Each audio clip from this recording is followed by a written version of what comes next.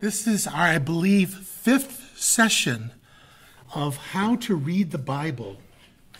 And this morning we're going to start, as we do normally, with prayer. Let us pray. Lord, we come together today with the single purpose and desire to know you better.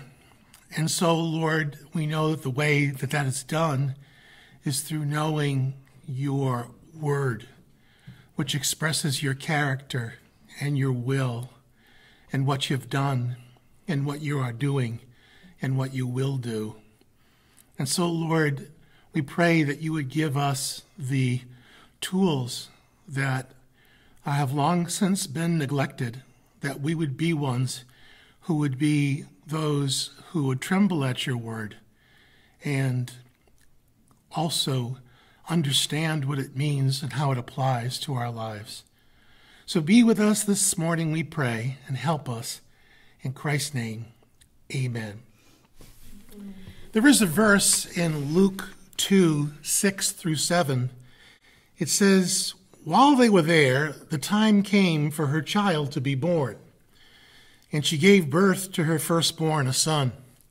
She wrapped him in swaddling cloths and laid him in a manger because there was no room for them in the inn. Would the proper deduction or interpretation from that, uh, those two verses, be my baby should sleep in a crib?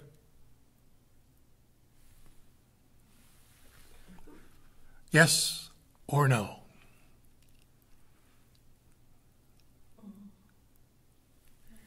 No answers given here. Keep that thought in mind as we keep going on here. We are now venturing from the epistles to the Old Testament narratives, the Old Testament stories. And most of the Old Testament, three quarters of the Old Testament, is narrative, it is stories. It's Hebrew narrative, which is different from the narrative being written today. And it's the most common type of literature in the Bible. We must remember as Christians that the Old Testament is our spiritual history. It's not irrelevant. And the promises of calling, the calling of God to Israel, are our historical promises in calling. The church has been referred to in the New Testament as the Israel of God. And remember, one of the cardinal principles is that you read from the text up rather than reading in to the text. You want to be exegetical, not eisegetical now, these are stories, and they retell historical events.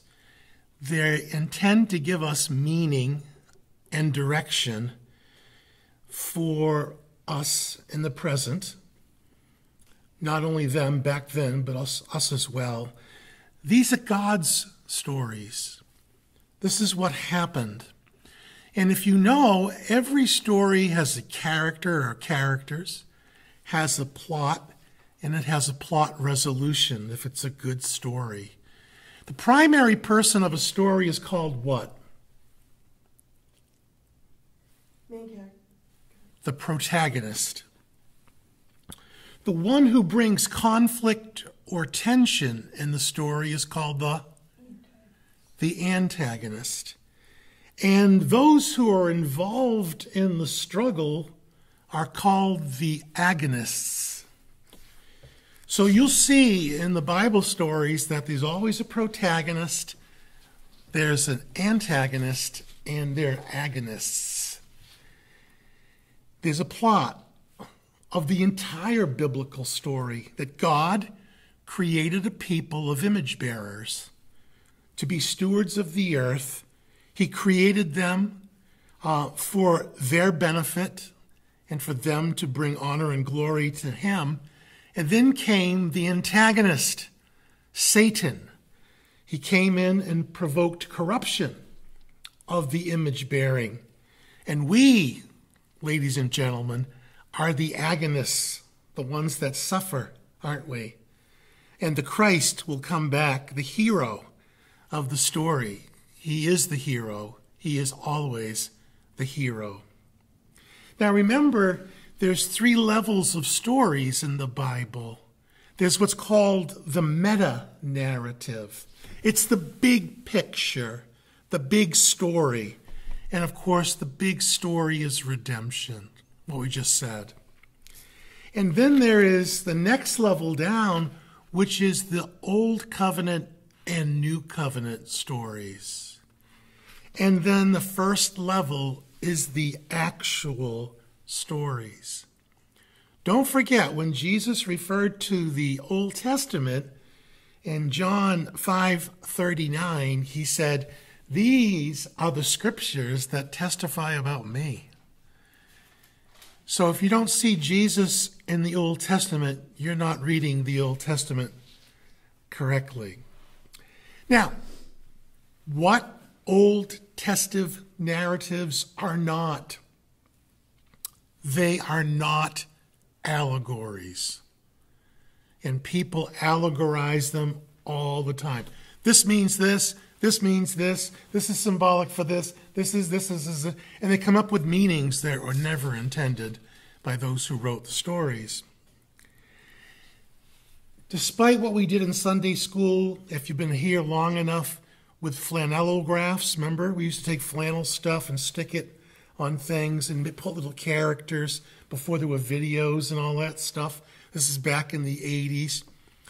We used to use them to directly teach moral lessons, and they do not directly teach moral lessons. Bear with me. In the Old Testament, often illustrates what is taught categorically and explicitly elsewhere. How we're going to do that is we're going to camp out this morning on another narrative, a narrative, and it's. Uh, I'd like you to turn to 2 Samuel chapter 11. 2 Samuel chapter 11. It's probably a familiar story to you, I would imagine. But from it, we're going to illustrate the principles that we're talking about. 2 Samuel 11. In the spring of the year, the time when kings go out to battle, David sent Joab and his servants with him and all Israel. And they ravaged the Ammonites and besieged Rabbah, but David remained at Jerusalem. Now, right there, you're saying, oh, that doesn't look good. The king does not go out with the army, he's home and he's idle. It happened what happened? Late one afternoon, when David arose from his couch and was walking on the roof of the king's house, that he saw from the roof a woman bathing, and the woman was very beautiful. And David sent and inquired about the woman, and one said, is not this Bathsheba, or if you're Hebrew, Bathsheba, the daughter of Eliam, the wife of Uriah the Hittite? So David sent messengers and took her, and she came to him, and he lay with her. No punches being pulled there, right? Now she had been purifying herself from her uncleanness. Then she returned to her house, and the woman conceived, and she sent and told David, I am pregnant. So David sent word to Joab, Send me Uriah the Hittite. And Joab sent Uriah to David. When Uriah came to him, David asked how Joab was doing, and how the people were doing, and how the war was going. Then David said to Uriah, Go down to your house and wash your feet. And Uriah went out of the king's house, and there followed him a present from the king. But Uriah slept at the door of the king's house with all the servants of his lord, and did not go down to his house. When they told David Uriah did not go down to his house, David said to Uriah, Have you not come from a journey? Why did you not go down to your house? Uriah said to David, The ark in Israel and Judah dwell in booths, and my lord Joab and the servants of my lord are camping in the open field. Shall I go to my house to eat and to drink and to lie with my wife? As you live and as your soul lives, I will not do this thing. Then David said to Uriah, You remain here today also, and tomorrow I will send you back.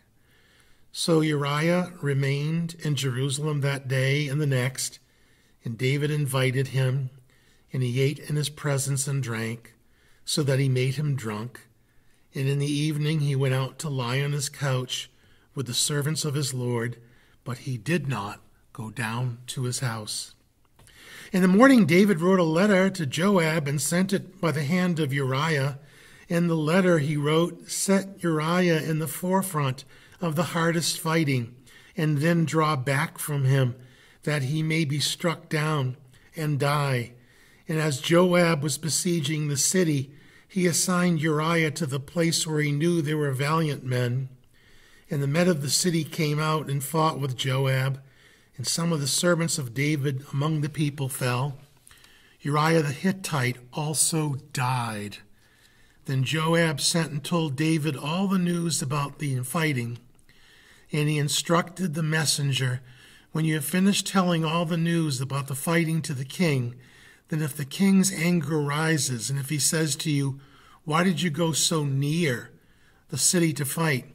Did you not know that they would shoot from the wall? Who killed Abimelech, the son of Jerubbesheth? Did not a woman cast an upper millstone on him from the wall, so that he died at Thebez? Why did you go so near the wall? Then you shall say, Uriah, your servant Uriah the Hittite, is dead also. So the messenger went and came and told David all that Joab had sent to, sent to tell him. The messenger said to David, The men gained an advantage over us, and came out against us in the field, but we drove them back to the entrance of the gate. Then the archers shot at your servants from the wall. Some of the king's servants are dead, and your servant Uriah the Hittite is dead also. David said to the messenger, Thus shall you say to Joab, Do not let this matter trouble you, for the sword devours now one and now another. Strengthen your attack against the city and overthrow it, and encourage him. When the wife of Uriah heard that Uriah her husband was dead, she lamented over her husband. And when she was when the mourning was over, David sent and brought her to his house, and she became his wife and bore him a son. But the thing that David had done displeased the Lord. Now, never in this narrative do you hear the principle adultery is wrong. You never hear the principle murder is wrong. You are expected to know that because it is taught somewhere else in the Bible, namely in the Ten Commandments and other places. It's taught explicitly. The narrative is illustrating the harmful consequences of adultery in the personal life of King David and his ability to rule. After this event, if we kept reading, we would find that the rest of David's life was not blessed as the first part. And so he paid a heavy price. And people that engage in adultery pay a heavy price, a lifelong price. That's why we have so much divorce. The narrative does not systematically teach you about adultery and could not be used as a sole basis for such teaching. But as one illustration of the effects of adultery in a particular case, it conveys a powerful message that you do not forget, whether you are male or female, and it can imprint itself on your heart and mind if you're a careful reader and you read it the way it's intended. Now let's just go through it and pick up little kernels of truth, right? The first issue is David is idle. He's not working. He's got no job. He's laying on his couch in the afternoon eating bonbons. And so when he's not doing anything, he's bored. He goes outside and he happens to see a woman bathing.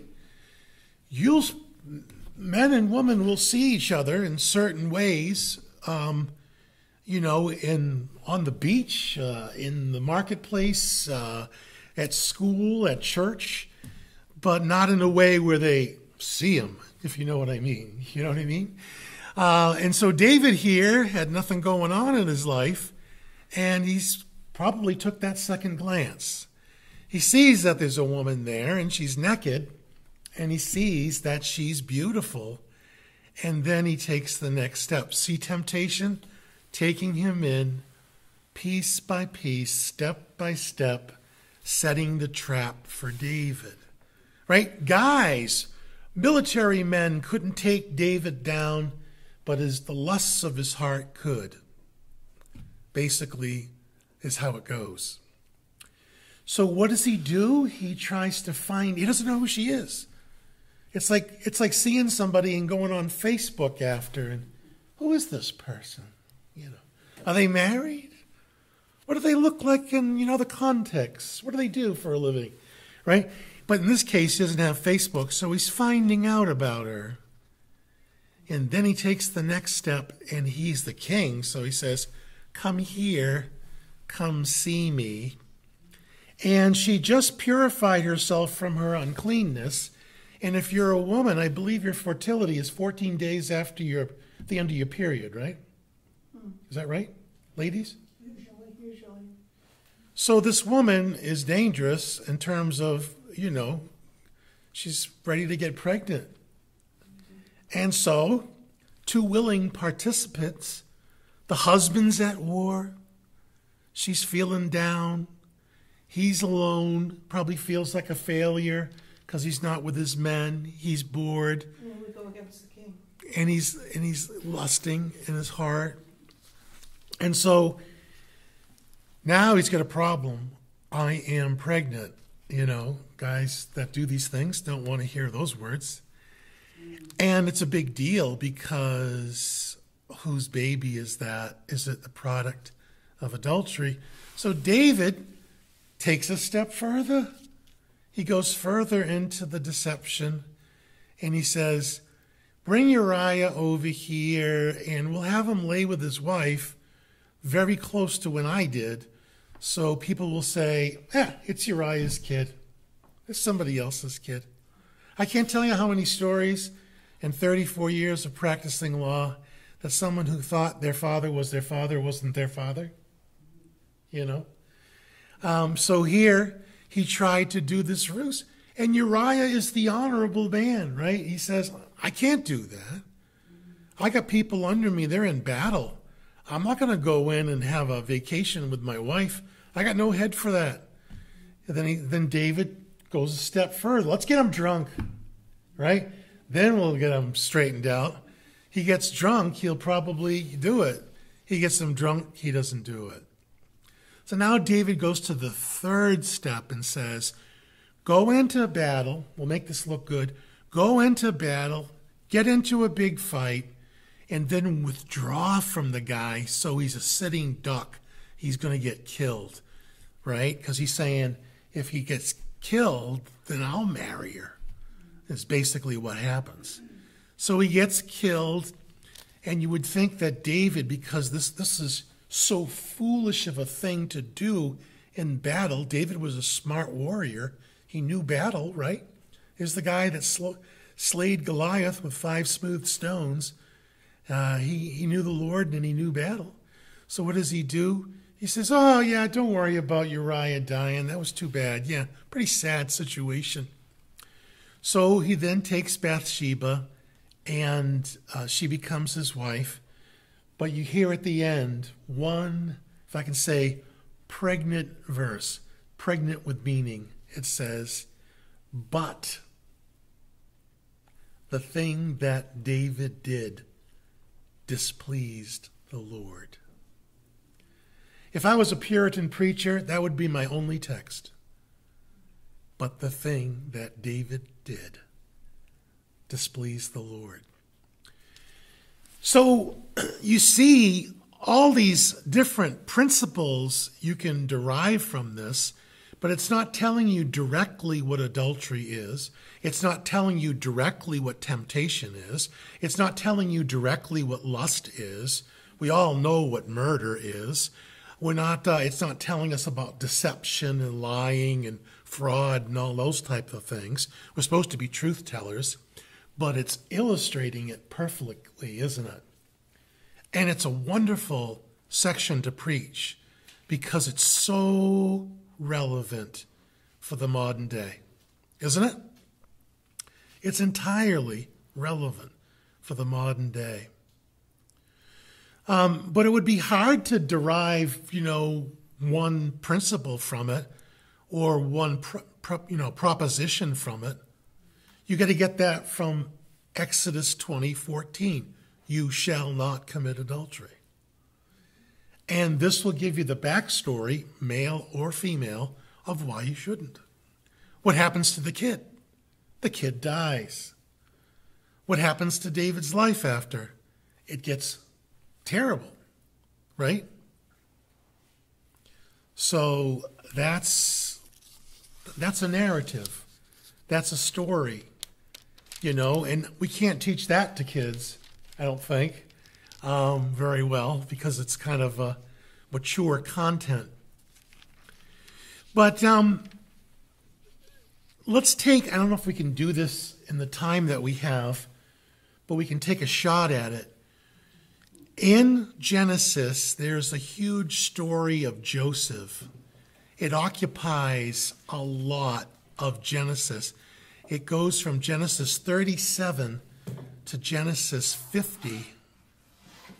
And maybe if we just draw the the what do you call it, the high points from it, that might be enough to kind of teach what we're saying here about narratives. Just go to Genesis 37. And this is big. Just like last week with Ruth and Boaz, if Ruth and Boaz didn't happen in the right way, the Christ, humanly speaking, would not have come and we would still be in our sins. You know what I mean? And the same thing applies to Genesis 37 through 50, although it's never said once in this entire huge narrative. Never said once. Does everybody know the story? If you don't know it, that's your homework. Read Genesis 37 through 50. I can't read the whole thing because I'll be out of breath and out of, out of time. So it's Joseph. Joseph's got a dream, you know. He's like Martin Luther King. I have a dream. I have a dream today. Jacob lived in the land of his father's sojournings in the land of Canaan. Canaan, yeah, Canaan. Canaan.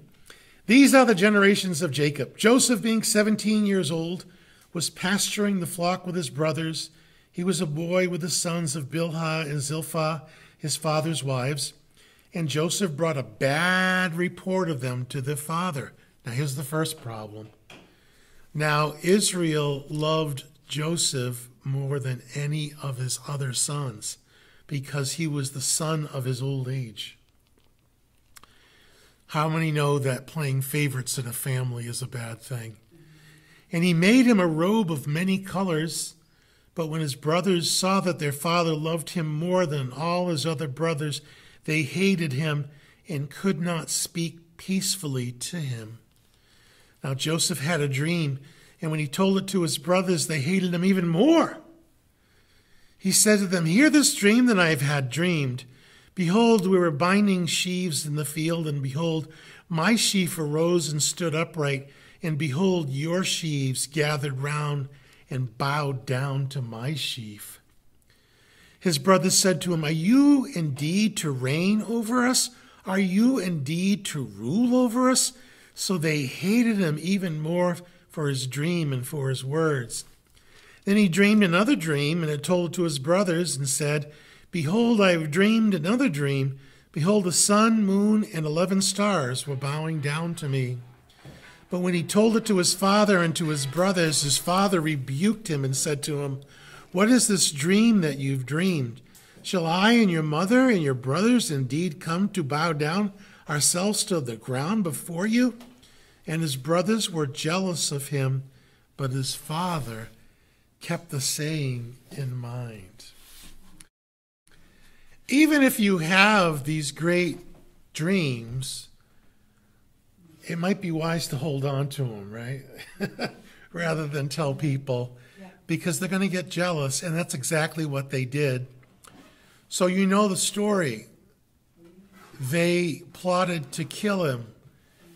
And when they plotted to kill him, they didn't have the nerve to go through with it, so they threw him in a hole.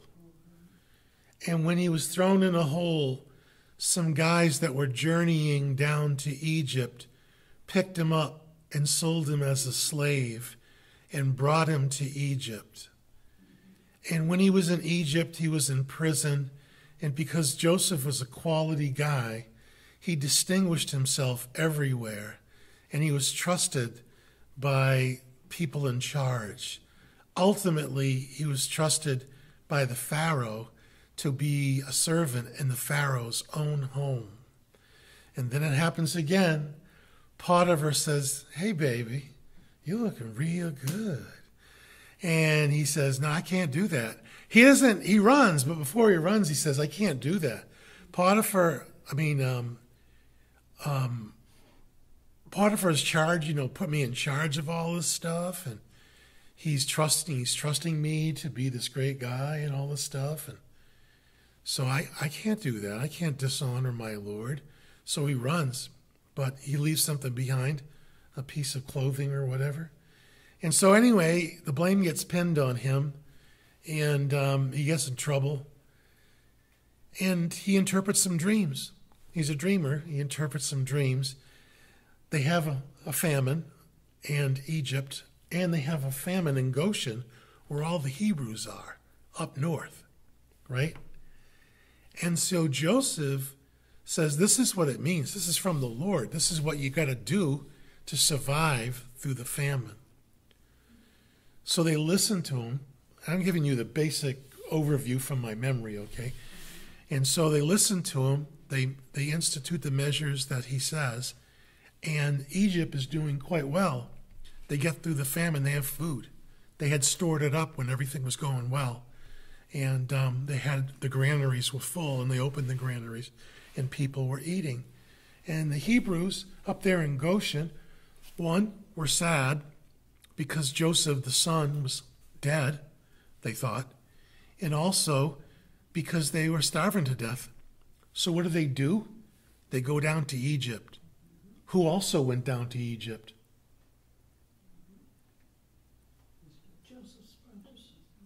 No, before later. This is a foreshadowing of what happens. Who goes down to Egypt? Christ. Christ goes down to Egypt when the edict is given to kill all the babies. He's driven into Egypt to survive. And when it when the thing is done, when the period of time passed, the Bible says, out of Egypt I called my son. So you see, this stuff is all interlocked. It's beautifully interlocked. It's amazingly. We're talking about hundreds and hundreds and hundreds of years. You see how these things happen? They couldn't just happen. Behind the story, there's a narrator.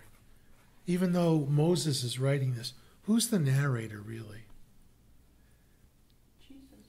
No. Who's the narrator writing this? I guess you could say Jesus is the correct answer, but who's really the narrator? God. God's the narrator. We'll just put it that way.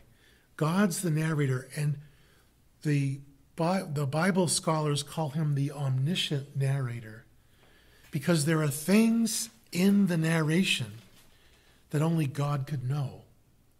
Like we just read, the thing that David done had displeased the Lord, right? How would we know it displeased the Lord? You know?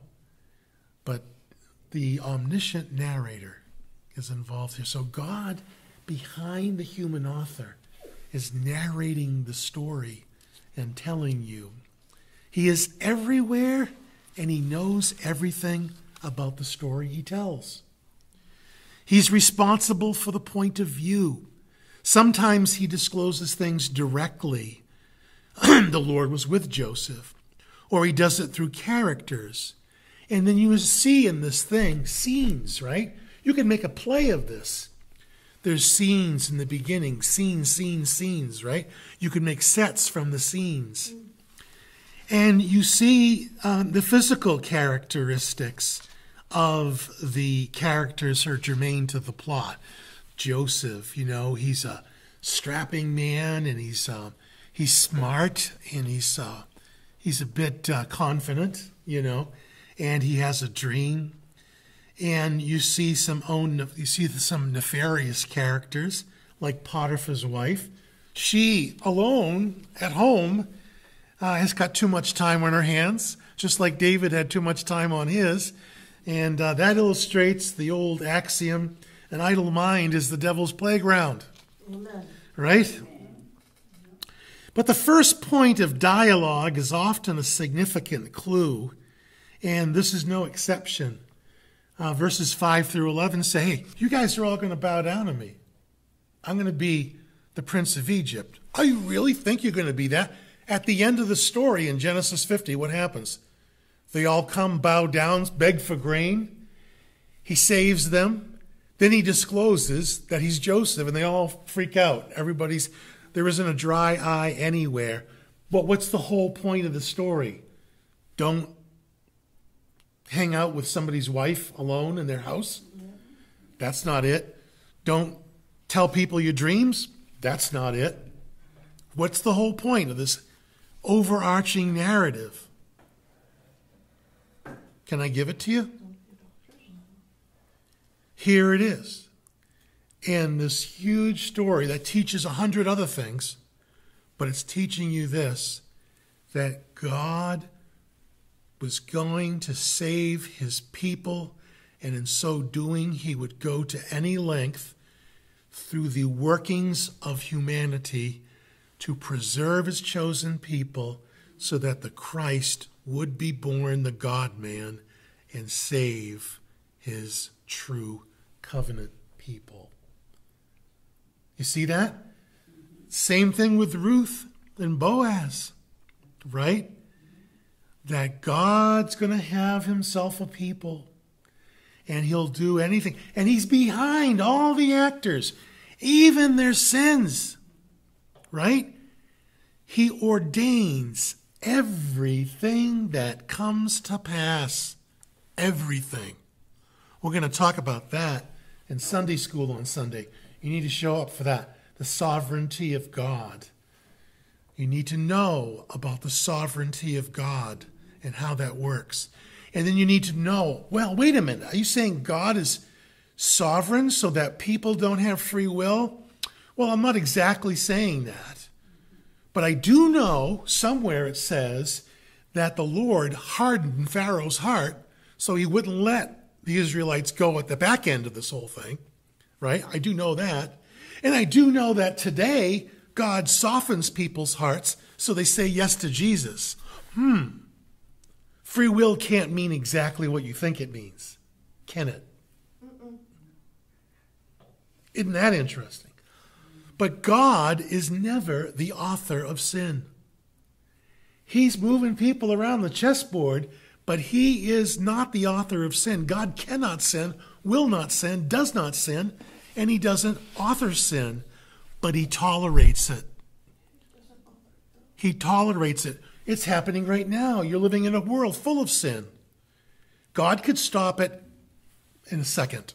It could stop in one second. It could be all over. But He does not. There must be a reason, which is beyond our discussion this morning. Um, I don't think we got much more left in time. So, a thing that you got to keep in mind when you read these stories number one, a lot of times there's repetition. Why? Because these stories were originally written for hearers, not for readers. People didn't read, they didn't have books. Codexes or books came later. Scrolls were very expensive, and usually only synagogues had scrolls. And so, if you go into a synagogue today, they have scrolls. Some of them uh, cost $50,000 each. And they have a little pointer that's made of silver where the person who reads reads the scripture, but it's made for the hearing, not for the eyes. We have a great advantage. We can read as well as hear. So there's repetition. And the narrative often begins on the same note that it ends on, right? The, the beginning note of Joseph is, You guys are all going to bow down to me. By chapter 50, they're all bowing down to him. And then in 5020, he gives us a huge kernel of truth. It says this, and this goes into God's will and people's will. You intended to harm me, but God intended it for good to accomplish what is now being done the saving of many lives. That is an amazing statement about the sovereignty of God and the free will of man. It's an amazing statement. If you should memorize anything in the Bible, that would be one of the things to memorize. Um, next, um, here are some things that you should know. Okay, there's like bullet points, okay? And I'll try to go through these quickly so you get them. Not everything God has said in the Bible is a direct word to you. Okay? No Bible narrative was specifically written about you, but it was written for you, and that's a difference. You must understand that. You could go a million different places with some of this stuff, and even preachers do, but they're wrong. And so if you go to a church that does that, you're going to be ultimately misled. I've seen it happen. I'm not saying that I'm the best Bible teacher in the world and I'm the only pastor in the world that does it right, but I'm saying there's a lot of people that do it wrong. I'm talking a lot. And so that's why you should, and you no exception here, but you should go to a church where a man's been prepared, not only by life, but by seminary. You know? Um, I was talk had this conversation the other day about a guy that wants to take a church but has no seminary training, no no education. It's a dangerous thing. You know, there are people out. No one's like you. You don't have to. My wife said that. Well, doesn't he have a license? My sweet wife thinks that everybody, like you know, everybody gets a license. You can't get a license to preach from the government. The government has no business in the church. So it's not like, you know, oh, you can drive, so we're giving you a driver's license. And no one goes up to the government and say, I'd like to preach. Can you give me a preaching license? No, only churches do that. right? And some churches give people licenses to preach that can't preach and are not studied. You can get one, you can you, you could become a minister this afternoon. You could send some money in, get a certificate, and tell them that you're whatever it is, licensed, ordained. But those people, ooh, it's going to be hard for them in the judgment. Because all teachers, including the one you're looking at, are going to be judged more strictly. I'm going to be judged more strictly for you on how I handle the word of truth. That's why I can't mess around. Now, the stories are not allegories. That's the first one, okay? Um, you shouldn't assume that this means that, that means this, this means that, right? The account of Moses going up and down Mount Sinai does not mean the allegory of a descent and ascent of the soul to God, which some people say. Elijah's battle with the priests of Baal on Mount Carmel is not an allegory over Jesus' triumph of the evil spirits. There's not this hidden code in the Bible with all this numerology and all this weirdness. That's a bunch of bunk, okay, guys? There's stuff you're going to have to unlearn. And that's the hardest thing to unlearn something.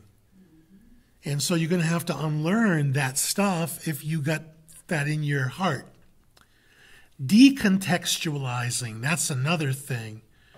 Sometimes people will concentrate on small units in a narrative and they'll miss the context and the clues that are given in the larger story. Sometimes people are selective. They just cherry pick certain phrases and words and make it mean what they want it to. Or they moralize it. You know, like the Exodus is moral teaching about slavery. No, it's part of the history of redemption. And that you know there are other narratives, other principles maybe in the Bible about the issue, but you can't moralize. And that's the thing we do with our children. We have to be very careful of giving our children just moral education. Be good, Johnny. Don't be bad, Johnny. That's not enough. You got to teach your kids how to think, right? you got to know how to think and you're going to know how to think biblically. It's a high calling. Parenting is not easy. I'm looking at the parent. This is the parent screen. You're the non parent screen over here. Um, personalizing. Here's an example of personalizing. I love this. The story of Balaam's talking donkey reminds me that I talk too much. It's got nothing to do with that. The story of building the temple is God's way of telling us that we have to build a new church building. Oh, how about misappropriation? Gideon throws out a fleece. This is a big one. Gideon throws out a fleece, and people everywhere are running around in circles saying, I tested the Lord today. I threw out a fleece. I said, God, if you give me a $100 today, I will, you know, stop smoking cigarettes. You know, the Gideon's fleece is not something you are to imitate, actually. False appropriation. Jonathan and David had a very loving relationship. Jonathan and David kissed, okay? But they didn't kiss on the lips, they kissed on the cheek. Think of the mafia if we were in the mafia this morning, you'd come in, Mike and I would come in, he'd kiss me on the cheek, I'd kiss him on the cheek. I'm telling you, these guys are men's men. They're not, you know, something else. But we have the people today thinking that because David and Jonathan did what they did, that they were homosexuals. They were not. They were men's men. It's a false appropriation. It's decontextualizing. Um, it's not wrong for a man and another man to be loving of one another. We're supposed to love everybody in the body of Christ, men and women, right? And loyally love them. And in kissing somebody in that context was a kiss on the cheek. I would kiss all of you on the cheek if this was a, a New Testament church in the, say, 200 AD. Each time you'd come in, I'd kiss you on the cheek. Right? I wouldn't do that today. It might be weird. You, might, you got something, man? Italian and French do that. The French. The Italians still do it. The French still do it. I think it's still a beautiful thing. I just don't do it because it's not our culture. You know what I mean?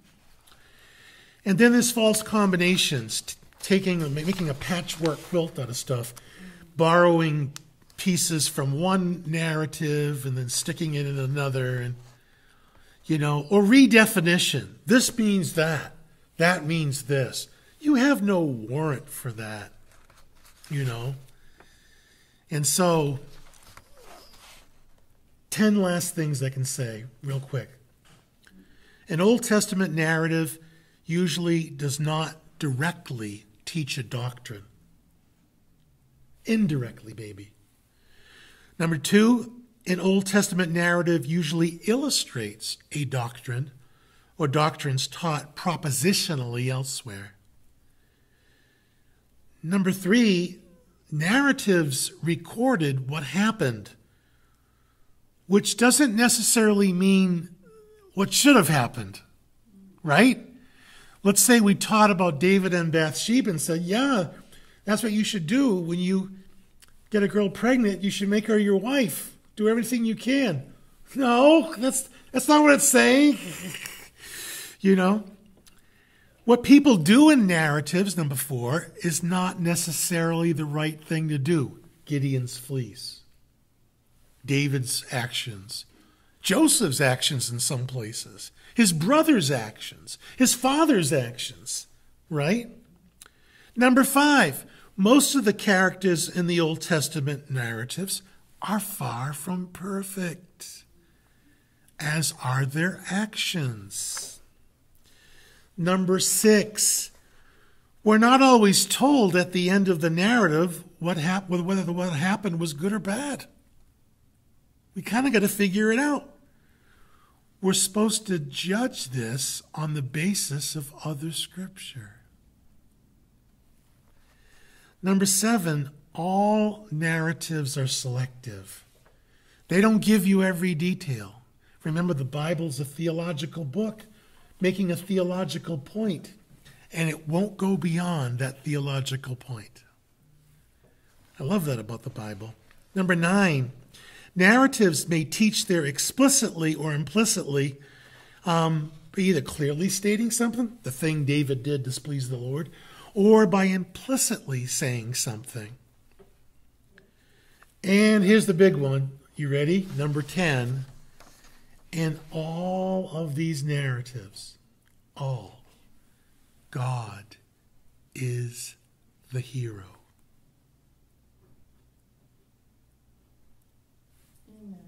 Amen. Amen. Yep, that's it, man. God is the hero. He's behind every page of the scripture, every writing. And these, these things just should thrill your soul as you read these things and you realize, you know, these things that were happening with Joseph and his brothers are the foundation of your salvation. God would move heaven and earth to save your soul. And he did. And so that should say, all right, you a little down today? Get lifted up. You a little down today? You feeling sorry for yourself? You don't think you're good enough? Well, Jesus thinks differently about you. God thinks a whole lot differently. I'm going to start crying.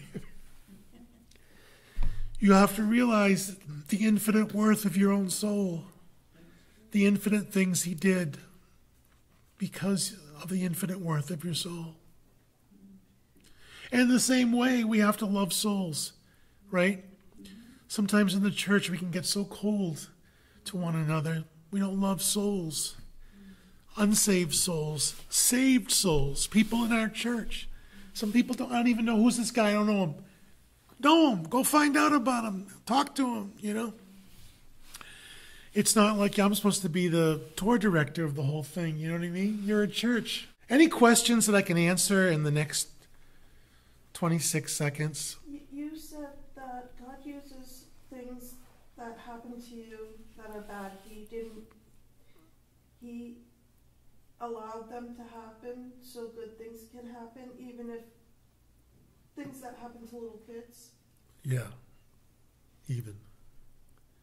But remember what he says that whoever messes with a little kid is in a whole heap of terrible judgment unless they truly repent, right? The Christ says that in the New Testament. It's amazing. It's amazing. Hey, look at you know. There can be good that comes from it. Listen, when you mature as a Christian, you're going to learn one thing that through bad stuff, good stuff happens. I'm telling you right now, I would not be in front of you if a lot of bad stuff didn't happen to me. Mm-hmm. I would not be here doing what I'm doing. I'd be somewhere else. Who knows where I'd be? In a gutter somewhere. Uh, so, so you, you have to remember that. And um, remember, Romans 8:28. It's not all things are good, but God works in all things together for your eternal good, if I can put it that way. As a Christian. Romans 8:28. Recite that, know that. Put that on your refrigerator. Tattoo it on your arm if you're into that. No. I'm not advocating that. Pastor, doesn't God, um, put things like, um, bad things in our lives to, um, to get to know, you know, to get closer to Him and get to know Him Yeah. better? Yes. They refine our faith. You remember the story about the, uh, the, the what do you call it? The, the chrysalis? The moth, you know? He's in the he's in his little cocoon and he's trying to he's trying to fly because he wants to be a butterfly, right? and he's like the stinking walls. Like I can't get out of this. I can't. I, yeah. He's fighting and fighting, and so he fights. And what happens is all the strength comes into him, and fluids push out. And what happens is he becomes a butterfly as a result. And then one time, what happened? Right, the story is of the person was watching the chrysalis, you know, the struggle in the chrysalis. And so he came over with a pair of scissors and cut the cocoon open, and the moth plops out, can never fly, and dies. There's a lot of principles there. God wants you to persevere. The perseverance brings faith that's solid. And also, parents can get a principle here. Don't give your kids everything. Let them struggle, for goodness sake. Make them work. How are they going to learn, right? Um, not that I would go to this extreme, but we had a guy that used to go to church here, and his father locked the doors when he turned 18. Now, I think that's cold, but his, he basically came home when after his 18th birthday, They tried the door, it didn't work. And so he had to go do it. Um, I wouldn't do that. I'm not that type of guy. Um, but it's a, it's a, it's the opposite pole of the whole thing. Well, let's pray. Our Heavenly Father, we thank you, Lord, for this time together, and thank you, Lord, for these fine folks that have joined us. And we pray that they would have gleaned from this and that would be of use and benefit to them. We pray for those watching uh, on YouTube as well. In Christ's holy name we ask, and everybody said, Amen.